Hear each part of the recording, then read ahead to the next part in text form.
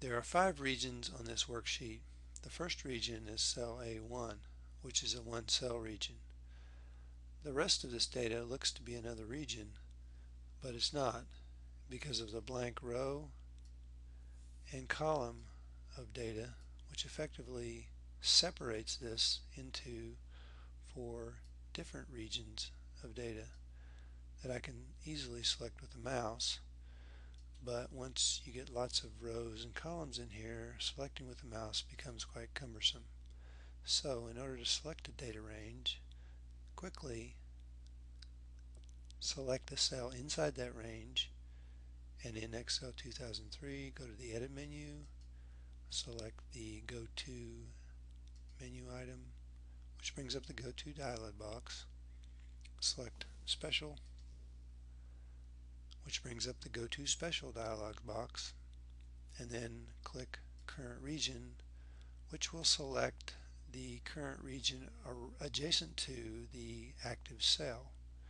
Click OK and there you've selected the data in that range.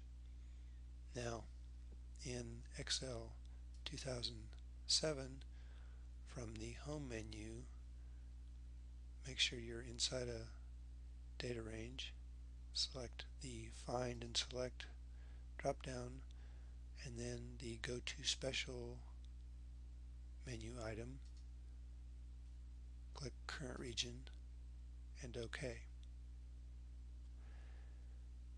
Now there's a couple other ways to do this that are similar. Use control G to bring up the go to dialog box click special current region OK which also works in 2007 as does using the F5 button to bring up the go-to dialog box. Click Special Current Region OK. But the easiest way to select a region of data is select inside that data and use Control Shift Asterisk, which works in 2003 and 2007. Now, if you select a range of data and you want the current region, you're going to get the current region around or adjacent to the active cell. Here it's H4, the current region is over here. Now if I select between the two regions but adjacent to, then the current region selection will be two regions. So as you can imagine, if I select between these two, I get those two regions. Similarly, I can do this between all these regions. And if I select a cell that's adjacent to four regions, I'm current region selection is going to be those four regions. Now interestingly enough, if I select a blank cell adjacent to a data region, then the current region is going to be the blank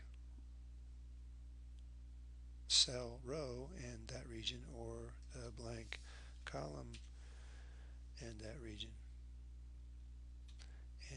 I select next to a uh, one cell region then I'm going to get the blank cell and that one cell region. So the easiest way to select a uh, data region is to select inside that region, use the control shift asterisk and that'll quickly select the entire region.